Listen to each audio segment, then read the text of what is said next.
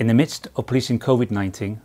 our officers have continued to police and investigate crimes,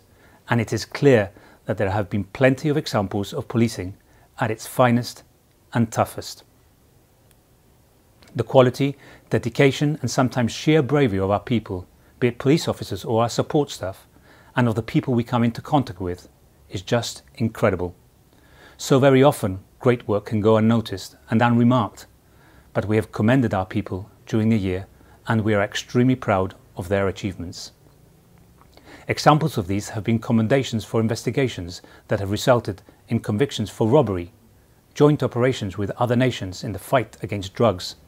financial crime, and people smuggling. There have been other commendations too to courageous officers who have saved the lives of vulnerable people